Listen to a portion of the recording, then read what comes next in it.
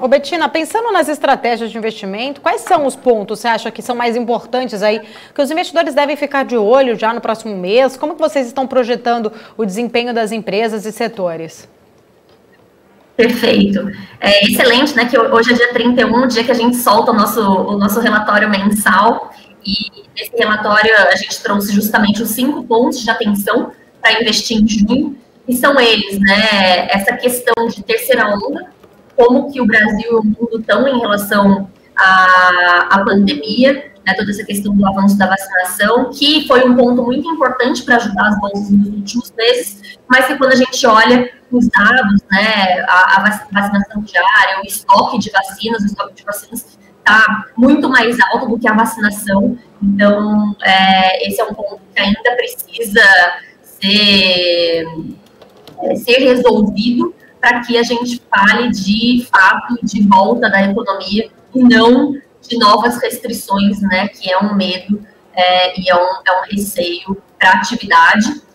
O segundo ponto, as commodities, a gente tem visto, né, o, as commodities é, muito fortes, e quando a gente fala de Brasil, o Brasil é, tem uma representatividade muito grande, né, a gente tendo uma exposição de 36% direta a empresas desse setor. Então, é um assunto também super importante, ainda mais que recentemente a gente teve né, as notícias da China de querer é, controlar os preços de alguns metais, né, pensando também na recuperação, com medo né, de que esse aumento intenso dos preços das commodities prejudiquem a recuperação do país.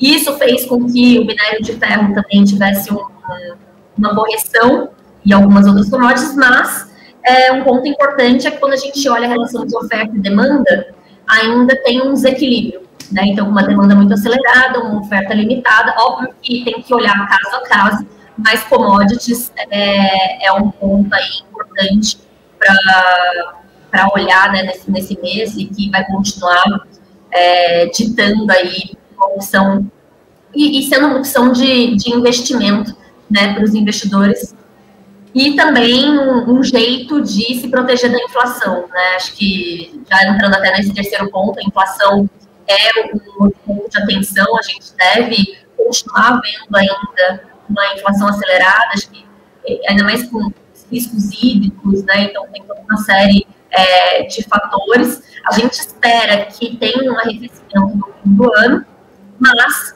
é sim um, um ponto muito importante de atenção e que não significa que as pessoas não podem é, investir em ações, né, ou não tomar cuidado com os investimentos, muito pelo contrário, porque quando a gente pensa em ativos reais, as ações, as commodities são ativos interessantes para se proteger da inflação. Aí o quarto ponto são as reformas, a gente teve também uma melhora no tom, né, que ajudou também na, na percepção disso, mas que agora em junho é, estão no holofote é, uma, é um assunto também muito importante. E aí o quinto assunto, que acho que é uma, um assunto, na verdade, que é um assunto que nunca, nunca morre aqui, principalmente na nossa Bolsa Brasileira, que é a volatilidade. Por mais que a gente tenha aí um movimento positivo da Bolsa e alguns fatores que sejam é, mais positivos do que antes, a gente ainda está falando de, de uma volatilidade bastante alta, né? E como eu disse, alguns pontos de insegurança e preocupação que devem manter a volatilidade alta, ainda mais que também a gente tem o, o, o ano de período eleitoral, né? Então é, é, importante ter uma carteira diversificada, se proteger. E pensando nisso, a gente também fez uma lista de ações que a gente está chamando aqui de no stress, que são ações que têm uma volatilidade mais baixa. Isso basicamente é, análise quantitativa, então, óbvio que é sempre importante olhar o caso a caso, né, nas empresas, mas olhar essas, esses papéis que têm uma volatilidade histórica mais baixa também é um jeito interessante na hora de escolher os papéis individualmente.